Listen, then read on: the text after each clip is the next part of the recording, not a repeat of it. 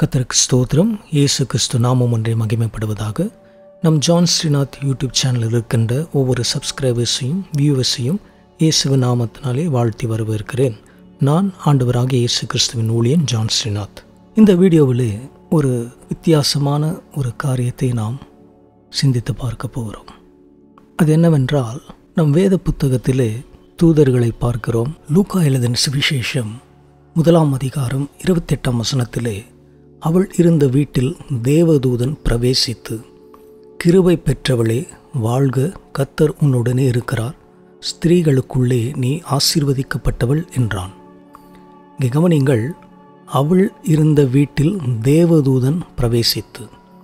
இந்த வசனத்தை நான் ஏன் சுட்டி காட்டுகிறேன் என்றால் இதுபோல தேவதூதர்கள் அநேக இடங்களிலே வந்ததாக வேதத்தில் அநேக சம்பவங்கள் உண்டு.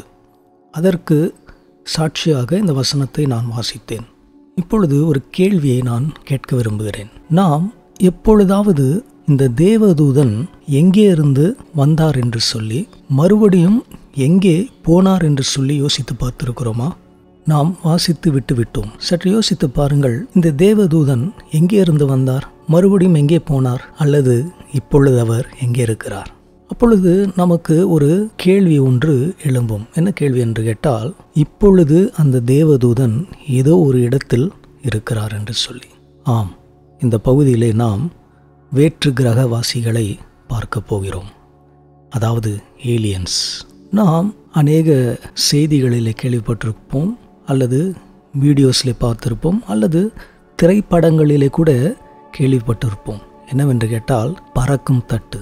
இந்த வார்த்தை. இன்னொன்று ஏலியன்ஸ் அதாவது வேறு கிரகத்திலிருந்து நம் பூமிக்கு ஏலியன்ஸ் வந்து போகிறார்கள் என்று சொல்லி இந்த செய்தியை குறித்து நாம் எல்லோரும் கேள்விப்பட்டிருப்போம். ஏலியன்ஸ் என்றால் யார் என்றால் வேறே கிரகத்தில் வாழ்கின்ற ஒரு உயிரினங்கள். இந்த பூமியிலே நாம் எப்படி வாழ்கிறோமோ அதே போல வேறே கிரகங்களிலே உயிரினங்கள் வாழ்கிறார்கள். அவர்களுக்கு பேர் தான் நாம் ஏலியன்ஸ் என்று ஆங்கிலத்தில் சொல்கிறோம். வேற்று கிரகவாசிகள். பொதுவாக இந்த ஏலியன்ஸ் என்பது ஒரு கட்டுக்கதை என்று சொல்வார்கள் இதெல்லாம் சும்மா என்று சொல்லுவார்கள்.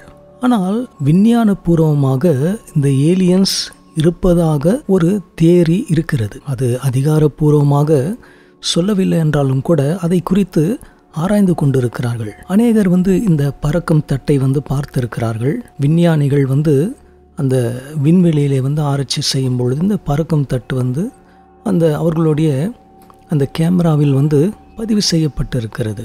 யாரோ வேறு கிரகத்திலிருந்து இங்கே வந்து மறுபடியும் போனதாக சொல்லி ஆங்காங்கே சரித்திரத்தில் நாம் வந்து சொல்லப்பட்டதை நாம் வந்து பார்க்கிறோம். இதற்கு ஒரு உதாரணமாக சொல்ல வேண்டுமென்றால் ஆயிரத்தி தொள்ளாயிரத்தி அறுபத்தி ஒன்பதாம் ஆண்டிலே அப்போலோ லெவன் மூலயமாய் நிலவுக்கு மனிதர்கள் பயணம் மேற்கொண்டார்கள்.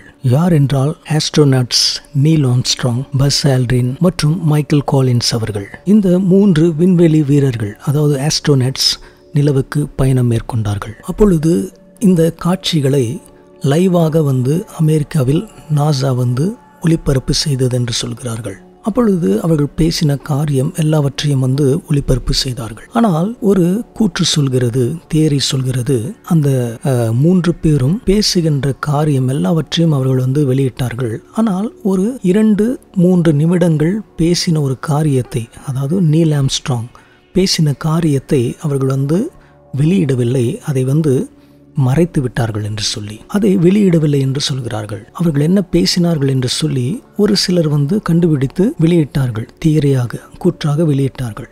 அவர்கள் என்ன சொல்கிறார்கள் என்றால் அந்த நீல் ஆம்ஸ்ட்ராங் நிலவிலே மூன்று பேர் இறங்கின பொழுது நீல் ஆம்ஸ்ட்ராங் பேசுகிறார். என்ன பேசுகிறார் என்று கேட்டால் நான் சொல்கிற காரியத்தை யாரும் வந்து நம்ப மாட்டார்கள் இங்கே வேறு அநேக ஸ்பேஸ் ஷிப்ஸ் இருக்கிறது என்று சொல்லி அந்த ஸ்பேஸ் எங்களை யாரோ கவனிக்கிறார்கள் என்று சொல்லி நீல் ஆம்ஸ்டாங் சொன்னதாக ஒரு கூற்று தேறி இருக்கிறது. அப்போது இவர்கள் என்ன சொல்ல வருகிறார்கள் என்று கேட்டால் ஏலியன்ஸ் அதாவது வேற்று கிரகவாசிகள் இருக்கிறார்கள் என்று சொல்லி இவர்கள் சொல்லுகிறார்கள். இதை குறித்து இன்னமும் ஆராய்ச்சி செய்து கொண்டிருக்கிறார்கள். வேற்று கிரகவாசிகள் இருக்கிறார்களா? ஏலியன்ஸ் இருக்கிறார்களா என்று சொல்லி தொடர்ந்து ஆராய்ச்சி செய்து கொண்டிருக்கிறார்கள். ஆனால் விஞ்ஞானிகள் வேறு கிரகத்தில் ஏலியன்ஸ் இருக்கிறார்கள் என்று சொல்லி நம்புகிறார்கள்.